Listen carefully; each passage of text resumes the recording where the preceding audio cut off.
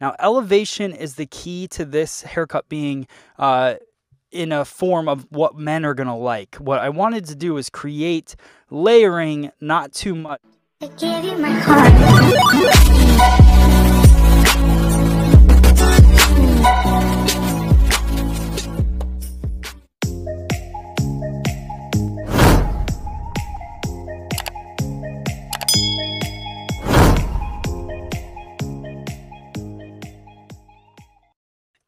All right, guys, so we're gonna start off by taking a center parting. What I wanna do is I wanna split the head in half because I'm gonna work on each half of the head, but I wanted to work from the occipital bone over. So that's just the easiest way.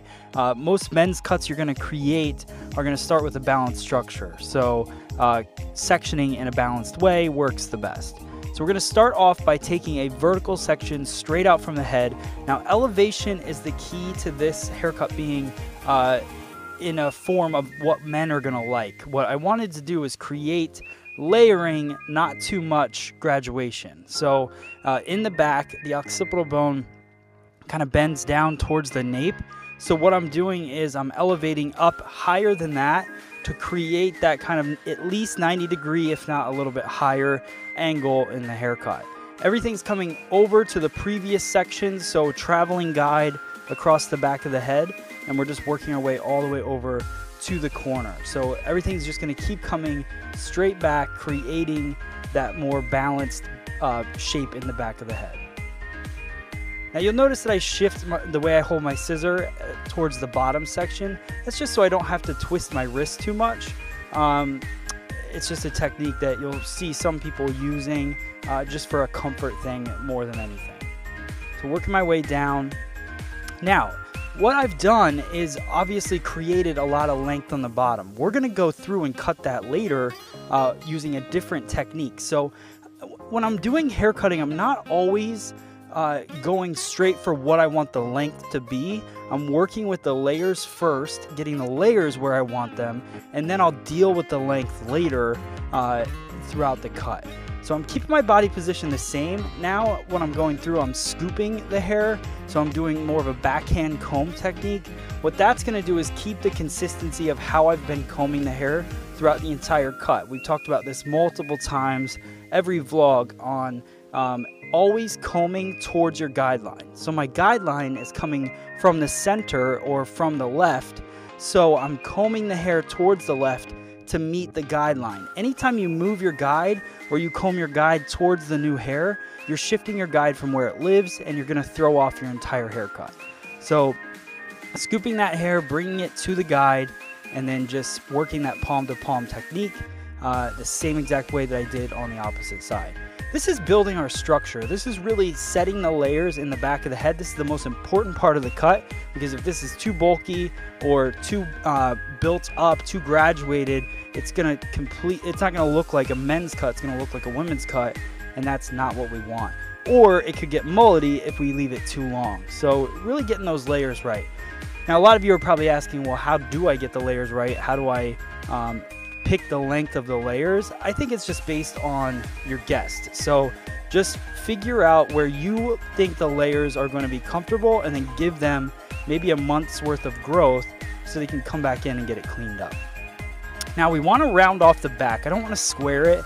Uh, the reason I want to round it is because I'm going to connect it to the back portion. So we started off, I used my DB20 scissor now I'm using my Chopstick Pro from Donald Scott. This is another, uh, I think, 35 to $39 tool on Free Salon Education. I love this tool for women's cutting and men's cutting, but this is where if I want to get in tighter to the head. So um, we use the carving comb when we're working with layering and texturizing. With this, this is more for a precision type feel if you want to get really close to your section, uh, more like a feather razor. So I'm combing and I'm working uh, the angle across, cre creating that horizontal line, and then I just shift into the corner and round that corner off, uh, which kind of gives it a nice hug to the hairline. So now I comb the hair in the direction I want to part it. That's another key thing that I like to do. I like to get the hair flowing and then go for my parting. It just keeps you from getting tangled up in the hair. And then I'm working diagonal back. So I want to start off, I'm going to find my connection point. Now this doesn't have to be exact. It's how long do you want the front of the hair to be? I want him to be able to tuck this hair back. So I'm going to go a little bit longer with it. And my strokes with the razor are nice and heavy because that's going to give me a lot more texture in the haircut. So you'll notice that a nice heavy stroke through there. It's to give me a very point cutted feel. Point cutted, if that's a word. Um, I'm going to go through there and just do those heavy strokes, create that texture. Guys' hair is all about texture at this length um, because it's not only going to give them a cool look, but it's also going to take out a lot of the bulk, which is what we want to accomplish. Now, if they have finer hair, you might want to create some more solid lines in there because they're already going to have that separation and definition in the haircut. So just working the round of the head, diagonal back sectionings, following the round of the head, and uh, the elevation is nice and high. I want to create layers. I do not want to create too much graduation. Um, once you get to the top part, like around this point right here, there's a little bit of graduation happening, but because of the heaviness of the strokes on the razor, you're really breaking down that graduation. You can see how the flow just works I love this technique. Like I said in the beginning, this is a great haircut for um, guys that are trying to grow their hair out. Um, you could wear this haircut until it's about down to your shoulders. So you would do the same exact technique, just keep working it a little bit longer each time. So flowing into the back, this is absolutely at graduation at this point because the crown of the head is our top point. So coming straight out off the crown would be 90 degrees. So we're at almost zero, but again, heavy strokes of the razor helps counteract the heavy density that might happen in the haircut. Same thing on the other side, working that diagonal back section, connecting it to the back portion that we cut at the beginning.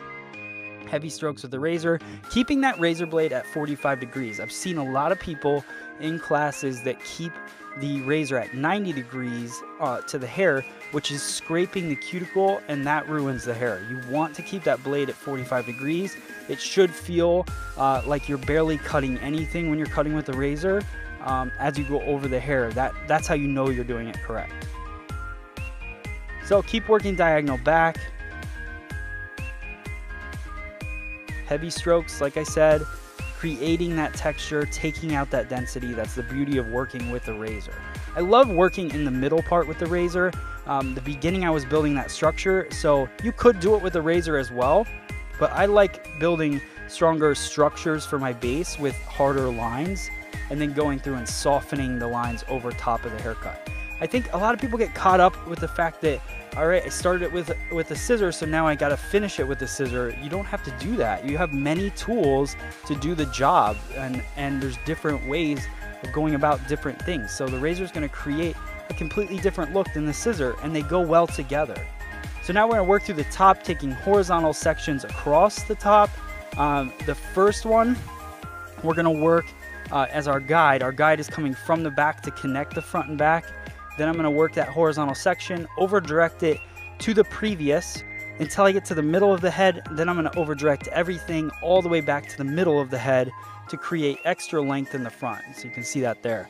The reason I want to create that extra length in the front is because he's going to toss it back and I don't want this haircut to look like it's following the round of the head. I want that kind of heaviness to flop over the top. Um, I think that's what gives this haircut kind of a cool look. So over directing everything back using a lot of point cutting. This is back with my DB20 scissor again. Um, this is my favorite all around wet hair, dry hair scissor. Um, is a 5.7 inch DB20 from Mizutani that we have on Free Salon Education. Now this is the Mizutani Solid. This is my 7 inch scissor that I love for scissor over comb. Um, the reason I like a longer scissor for scissor over comb is just the amount of hair that you can cut at the same time as you're working. Um, and also the solid scissor. This is a brand new scissor. This is the titanium version. The cool thing about it is that because it has the titanium plating, um, it's even stronger and it just flows through that hair so fast. So even though it's a 7 inch scissor, which would normally get weak towards the tip, it's not weak whatsoever. So uh, really dig that scissor for scissor over comb. Now, when you get the titanium plating, just so you guys know, if you order it on our site, uh, it's a $50 upgrade and it takes a little bit longer to get the scissor if we don't have it in stock, but it's worth it. Now we're gonna go through with the tip of the Chopstick Pro uh, and just work the edge. This is great for women's cutting and men's cutting just to soften uh, and create more texture around the edges of the haircut. Now I'm gonna go through blow drying just with my hands, not a lot of drying. Now, a, a big mistake that guys make is they put product in their wet hair. Now, water the products that are normally made for guys are water soluble so they rinse out easy. So if you put them in wet hair it dilutes the product too much and then they just end up looking greasy. This uh, so you get it about 90% 80% dry and then put in we're using the Reuzel blue pomade which is just a really thick firmer hold uh, pomade but it still gives a lot of movement to the hair and a lot of shine so I dig this product for this cut I love, if I had the right hair, I would definitely wear this cut. Um, I love the length in the back. I love the top just kind of kicked over. So I hope you guys like this cut.